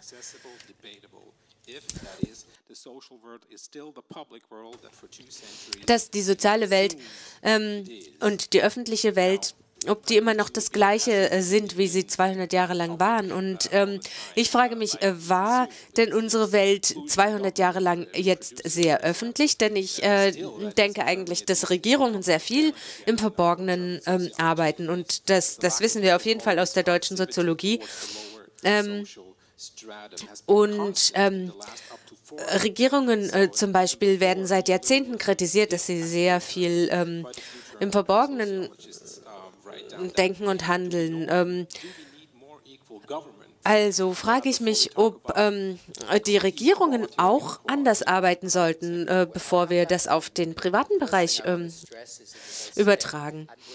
Nun, ich möchte noch mal betonen, dass ich die vergangenen Zeiten auf keinen Fall idealisieren möchte. Ähm, da hat es Katastrophen gegeben. Äh, soziales Wissen wurde schrecklich missbraucht. Äh, die Zustände waren teils furchtbar. Wir zitieren diese vergangenen Zeiten und die Studien zu den, zum 19. und 20. Jahrhundert deshalb, weil ähm, wir es wichtig finden, dass das soziale Wissen öffentlich war, auch wenn es teilweise missbraucht wurde. Und jetzt sind wir dabei, eine Welt aufzubauen, wo das ganze Wissen in privater Hand liegt, privat verwendet wird, privat gesammelt wird und ähm, keine öffentlichen Institutionen sind Rechenschaft schuldig. Und das ist eine sehr große Veränderung. Eine Veränderung. Ähm, nun, wir müssen uns auch fragen, was für Regierungen wir in der Zukunft haben werden. Wenn man sich mal ähm, die 1980er Jahre ansieht, da ähm, haben private Unternehmen sich statistische Daten von Regierungen kaufen müssen. Denn ähm, sie brauchten die Daten zum Beispiel, um ähm, Kreditkarten einzuführen und so weiter. Und in, in, Großbritannien vor drei oder vier Jahren hat die Regierung ähm, überlegt, die Volkszählung einzustellen, denn ähm, es schien günstiger zu sein, äh, die Informationen von privaten Unternehmen zu kaufen. Hier sieht man also eine große Veränderung. Vielleicht ist es nur eine Veränderung des Markts, aber ich äh, sehe es so, dass die Regierung hier die ähm, Verantwortung dafür, die Welt zu analysieren, zu verstehen und zu beschreiben, an private Unternehmen delegiert. Und das ähm, verändert meine Sichtweise auf Regierungen. Und ich glaube, es verändert auch unsere soziale Welt, die denn nicht mehr mit der Logik der Demokratie zusammenpasst. Denn in der Demokratie geht es darum, verschiedenen Stimmen zuzuhören. Äh, wir könnten uns aber daran gewöhnen, dass uns keiner mehr zuhört, wenn ähm, private Unternehmen viel besser beschreiben können, was in der Welt vor sich geht. Und das macht mir Sorgen. Ich glaube, über die Geschichte des, der Volkszählung in Deutschland, da könnte man ähm, stundenlang sprechen. Ja, in Deutschland ist das ein spezieller Fall. Jetzt ist aber höchste Zeit, ähm, die Diskussion für das Publikum zu öffnen. Es gibt zwei Mikrofone hinten im Raum. Bitte benutzen Sie unbedingt die Mikrofone, wenn Sie eine Frage stellen möchten. Bitte der Herr mit der Brille zuerst und bitte stehen Sie auf, damit der äh, junge Mann mit dem Mikrofon auf Sie zukommen kann.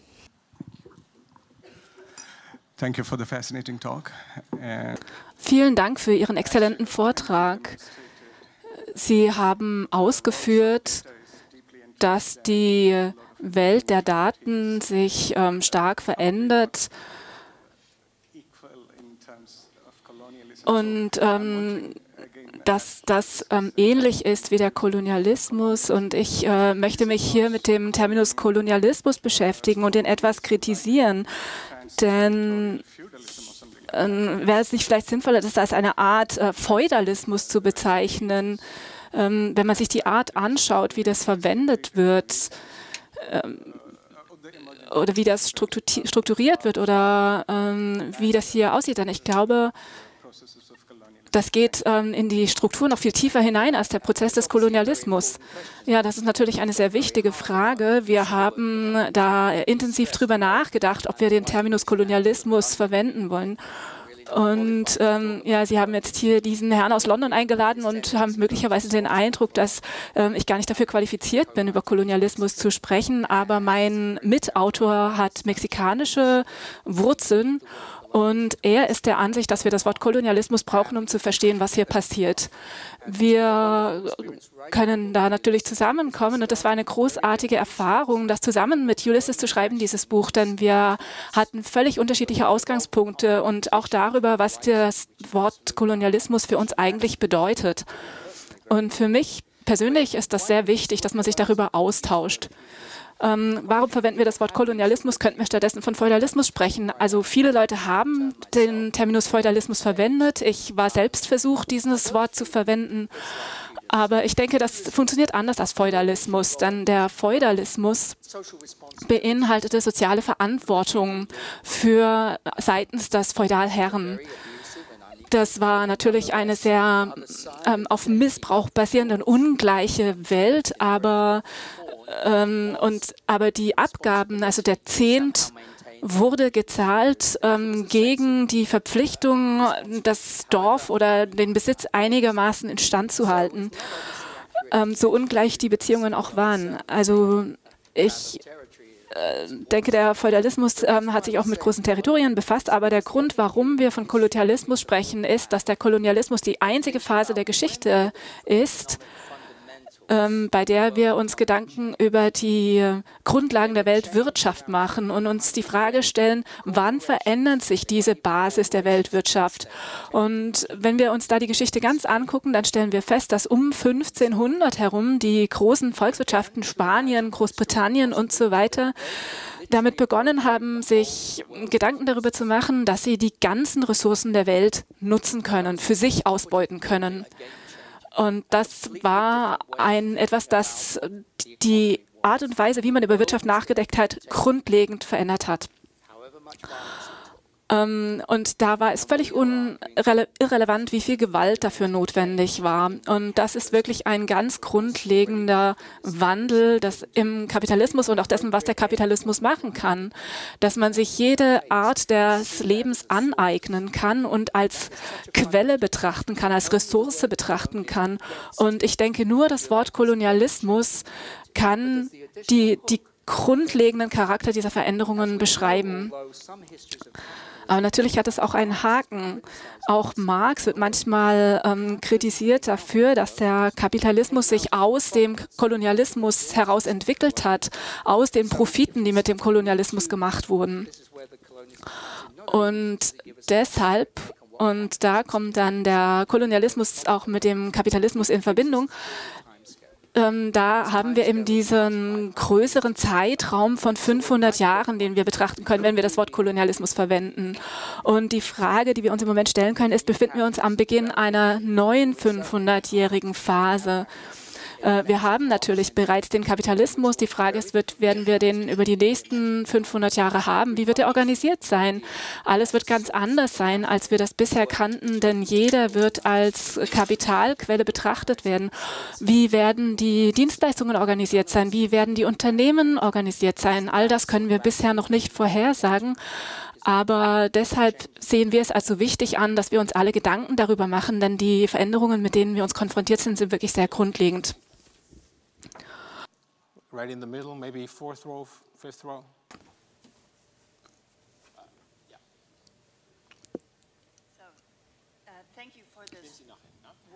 Vielen Dank für diese großartige Arbeit, die Sie machen. Ihnen zuzuhören hat mir gezeigt, dass Sie es geschafft haben, zu zeigen und zu dramatisieren, zuzuspitzen, die das äh, Wissen eine soziale Effizienz hat, das Wissen äh, Macht hat über die sozialen Ordnungen. Und dann haben sie die koloniale Geschichte angeführt, die auch der Beginn des, der Renaissance ist und der Beginn der Wissenssysteme ist, der neuen wissenschaftlichen Art, Wissen zu erzeugen. Ähm, auch diese, diese Entwicklung hat ihren Ausgangspunkt mit dem 15. Jahrhundert. Und ich denke, dass in dem Wissen, das wir gerne, zu dem wir gerne Zugriff hätten, auch Ideologie beinhaltet.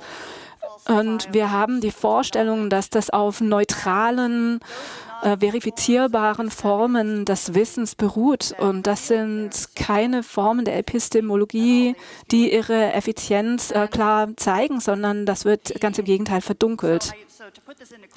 Um das in eine Frage zusammenzuführen.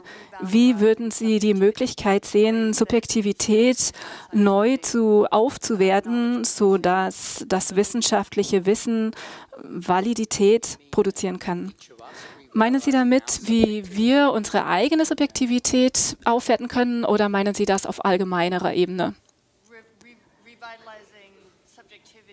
Ja die Neuaufwertung, dass ähm, Subjektivität als Teil der sozialen Ordnung, also nicht nur in der individuellen Aktivität, sondern in der verbundenen Aktivität, also in all den Formen unterschiedlicher Beziehungen.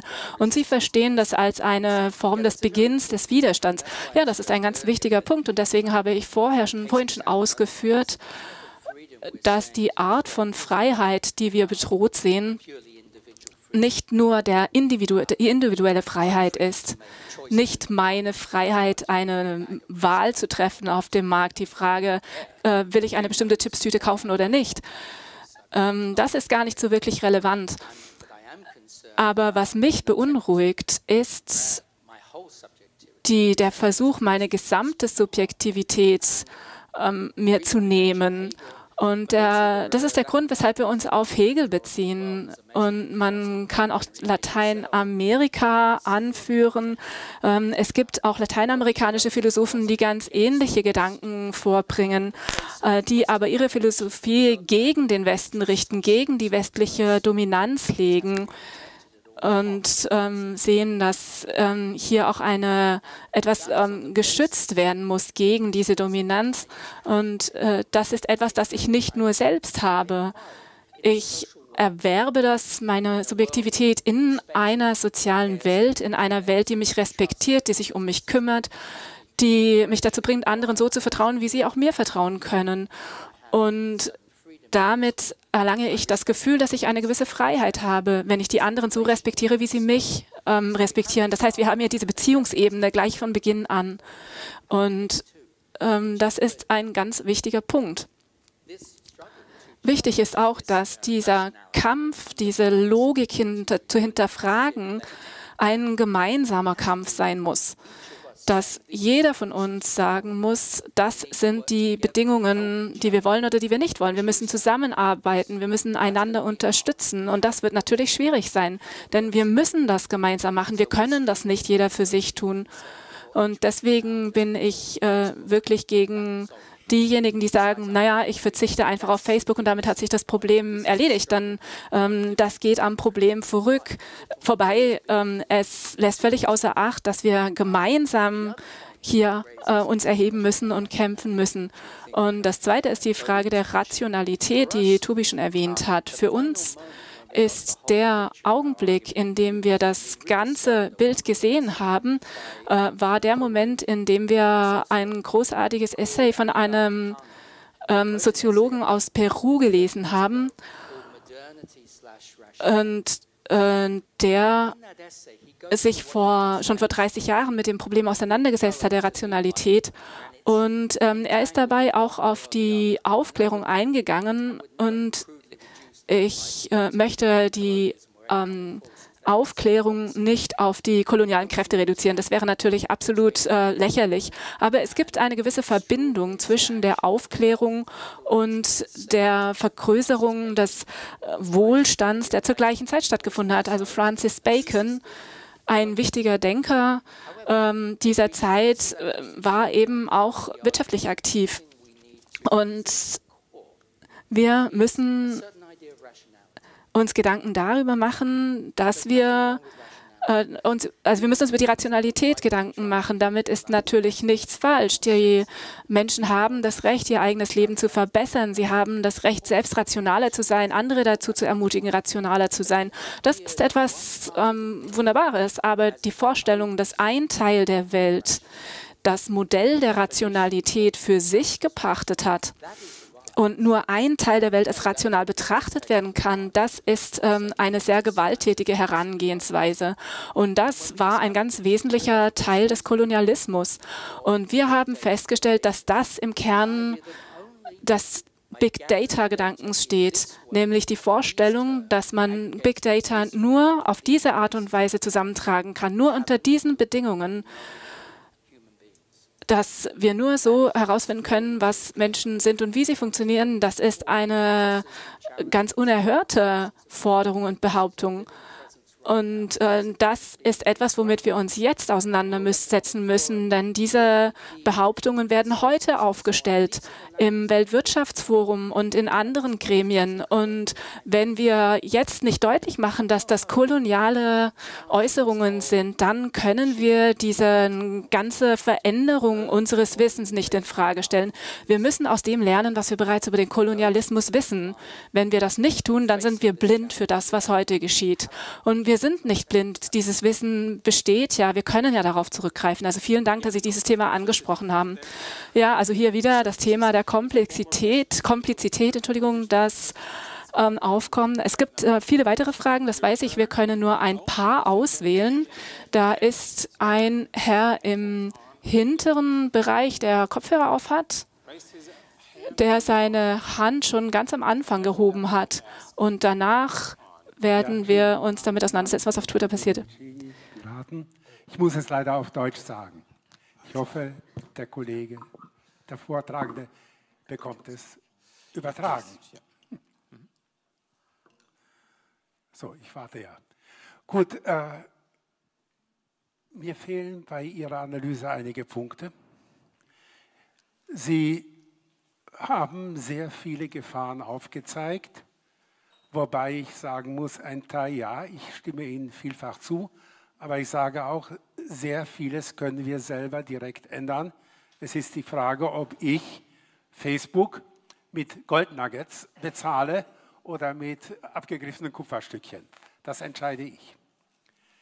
Dann ist es so, was mir gefehlt hat, ist tatsächlich der Einfluss, die Möglichkeit, und die gibt es jetzt seit 33 Jahren, der Zivilgesellschaft, CCC, beobachtet das sehr genau, arbeitet sehr präzise dagegen. Es gibt sehr viele Menschen, die äh, Nutzungsbedingungen durchgucken und sagen, hier stimmt was nicht, hier stimmt was nicht, hier stimmt was nicht. Es gibt die Bewegung, und die ist dringend, des Open Datas. Da habe ich so die Frage an Sie. Sie schreiben ein Buch zusammen mit einem Freund und sagen, Sie benutzen sehr, sehr viele andere Quellen. Wie viel sind davon eigentlich Open Data oder müssten es sein, weil wir alle hier bzw. weltweit diese Arbeiten mit unseren Geldern, unseren Steuern bezahlt haben. Und was mir dringend, dringend fehlt, wären natürlich politische Antworten. Wenn Sie China, das, ich sage mal deutlich schlechte Beispiel, vortragen, ja, aber was mache ich dann hier in Deutschland, was mache ich dann hier in Europa politisch, was fordere ich, um diesem äh, Wettlauf zwischen Hase und Igel, die einen wollen, mein Gold, ich will, dass, dass sie das zurückgeben. Wir müssen was, uns auf eine Frage beschränken. Also was wollen ja? wir politisch geändert haben, damit die Gefahren nicht auftreten?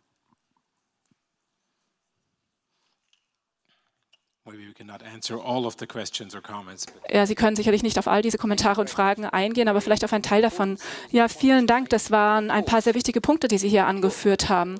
Und natürlich ähm, habe ich in meinem Vortrag nur versucht, Ihnen einen groben Überblick zu geben. Wenn ich noch eine weitere Stunde gehabt hätte, dann hätten wir auf die praktischen Aspekte eingehen können.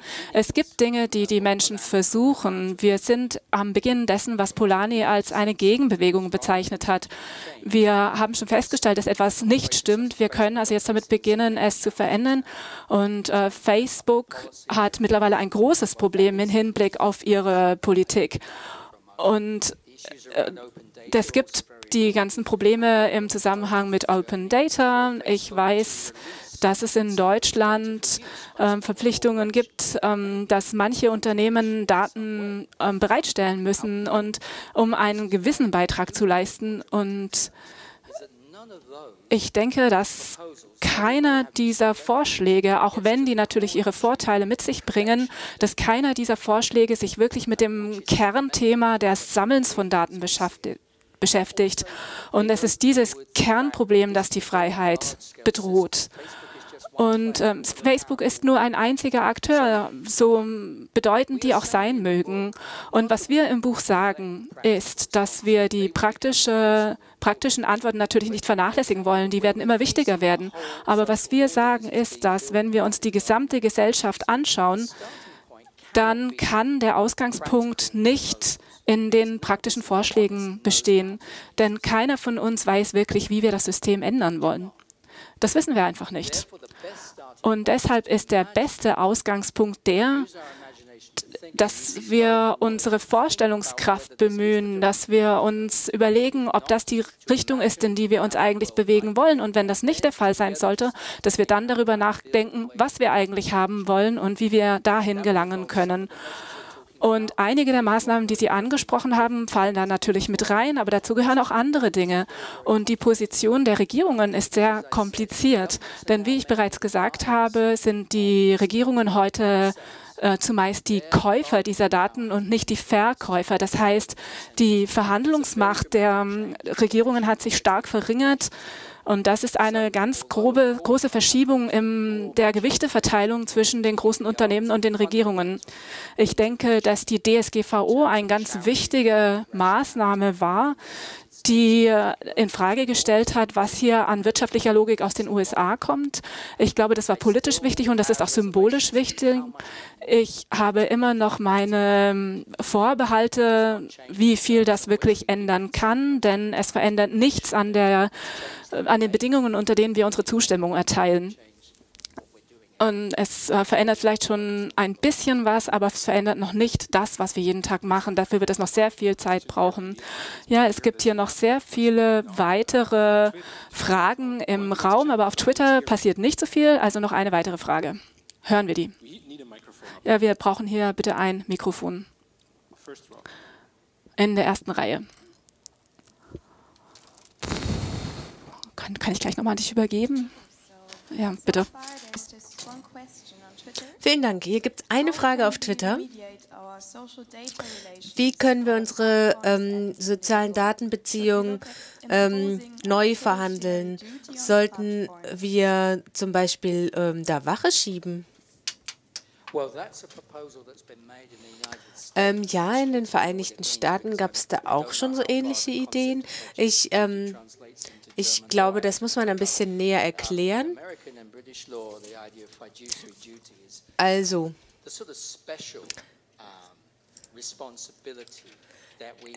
man, es gibt die Idee, dass äh, wir bestimmte Verantwortlichkeiten haben, wenn wir einen Vertrag unterzeichnen. Zum Beispiel, wenn wir ähm, in England ähm, einen Vertrag mit einem Versicherer, mit einem Versicherer einen Vertrag unterschreiben, dann haben wir eine ganz besondere Verpflichtung, vertragliche Verpflichtung, nur die Wahrheit zu sagen. Äh, das ist also eine spezielle Verpflichtung und ähm, in den USA ähm, gibt es den ähm, Denkansatz,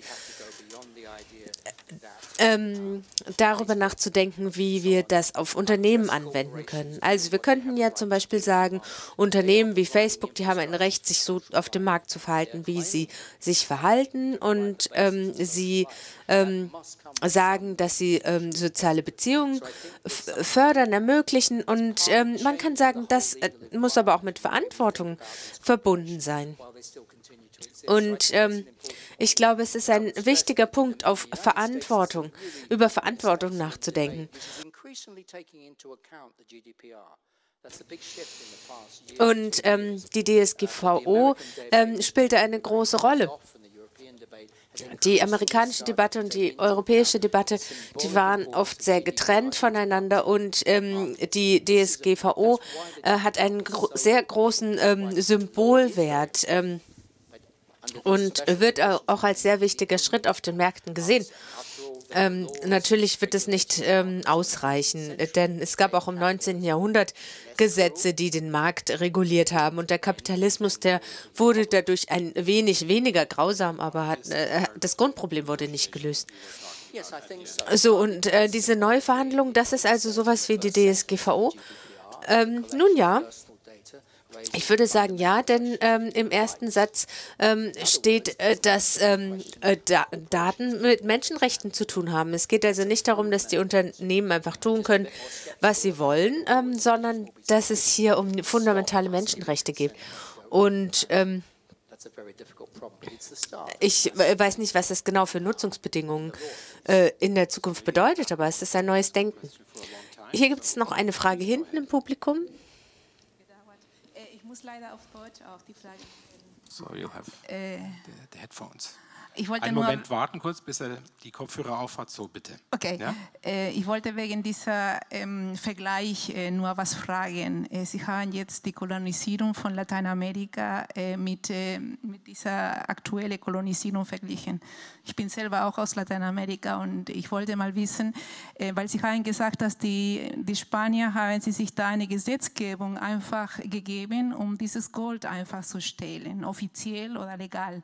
Aber eigentlich war diese Kolonisierung auch ein Unternehmen. Es war nicht nur äh, das Gold das, das Wichtigste, sondern es waren auch die Menschen oder überhaupt äh, eigentlich äh, das Landstück und nicht die Menschen. Und es war vor allem eigentlich ein Unternehmen der Vernichtung.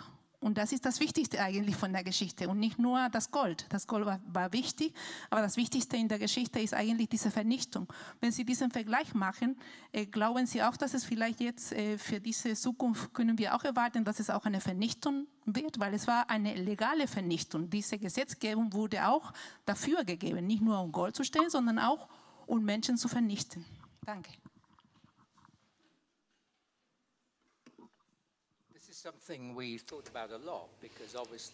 Das ist etwas, worüber wir sehr viel nachgedacht haben, denn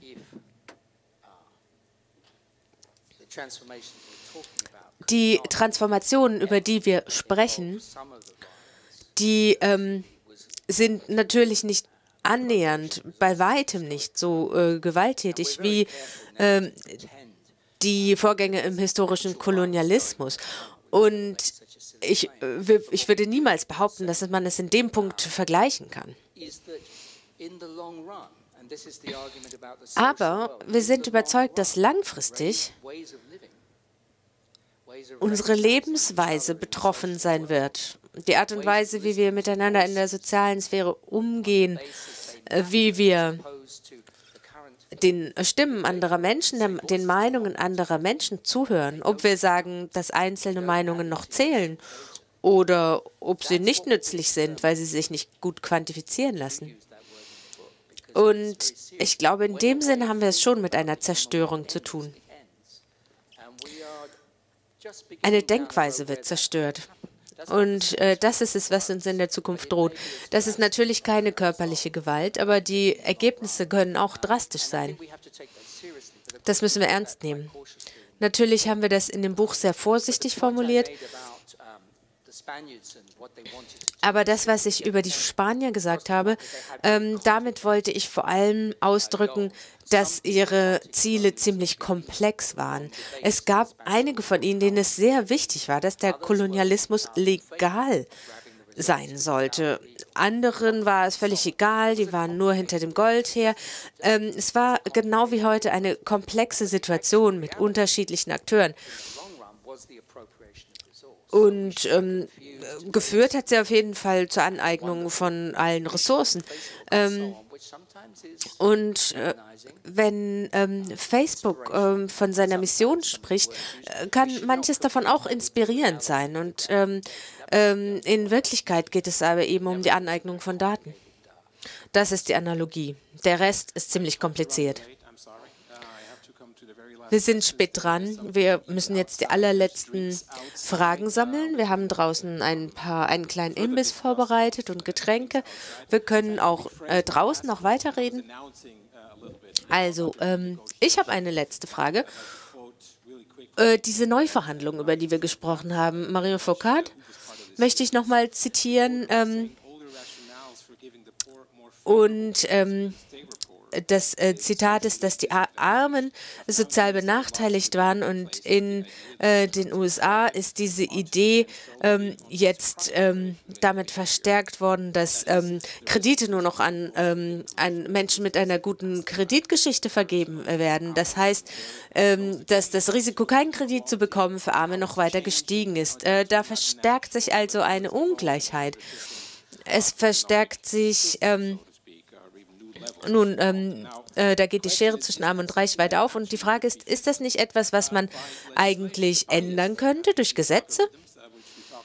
Diese Voreingenommenheit der Algorithmen, die ähm, soziale Faktoren mit einrechnen, sodass sodass dadurch Ungerechtigkeit ähm, entsteht, kann man dem nicht entgegenwirken. Ähm, wir als Gesellschaftswissenschaftler, ähm, das Institut für Internet äh, und Gesellschaft äh, beschäftigt sich ja bereits mit diesem Thema. Sollten wir da nicht mehr dran arbeiten?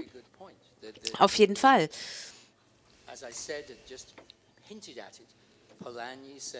Polanyi hat gesagt oder erklärt, dass die Transformation im 19. Äh, und 20. Jahrhundert ähm, auf zwei Ebenen ähm, stattfanden. Es ähm, gab die Bewegung und die Gegen Gegenbewegung. Es wurden äh, Schulen gegründet, es, wurden, es gab Bewegungen gegen Kinderarbeit. Und ähm, natürlich können wir auch mit Gesetzen der Datensammlung entgegenwirken. Vielleicht ist die DSGVO ja ein erster Schritt in diese Richtung. Ähm, hier geht es ja noch nicht darum, wie die Daten verwendet werden, aber zumindest welche Daten gesammelt werden. Und ich glaube, ja, das ist auf jeden Fall etwas, was wir tun können. Und wir müssen interdisziplinär zusammenarbeiten. Wir dürfen nicht in unseren eigenen Bereichen verharren. Die Kommunikationswissenschaftler müssen mit den ähm, äh, Politikwissenschaftlern, Wirtschaftswissenschaftlern, Soziologen und Juristen zusammenarbeiten, um ähm, einen Plan zu entwerfen, wie wir Veränderungen bewirken können. In den Vereinigten Staaten passiert das teilweise schon. Und ähm, da gibt es Forscher, die ähm, hauptsächlich ähm, zu, zur Datenproblematik forschen und ähm, die Unternehmen teilweise sehr stark kritisieren und damit auch persönliche Risiken eingehen. Und ich glaube, dass wir als Wissenschaftler verantwortlich sind, dafür genau das zu tun und über unsere Sorgen ähm, um die Welt zu sprechen. Vielen Dank. Vielen Dank auch für deinen Vortrag. Ähm, du hast äh, Google Maps wahrscheinlich nicht äh, genau äh, nicht äh, genug vertraut und äh, deshalb war es ein bisschen ähm, aufregend hierher zu kommen und beinahe wärst du zu spät gekommen, aber du hast es doch geschafft und da bin ich wirklich froh. Ähm, ich würde mich auch freuen, wenn du noch hier bleiben kannst für ähm, den kleinen Imbiss draußen und vielen Dank nochmal.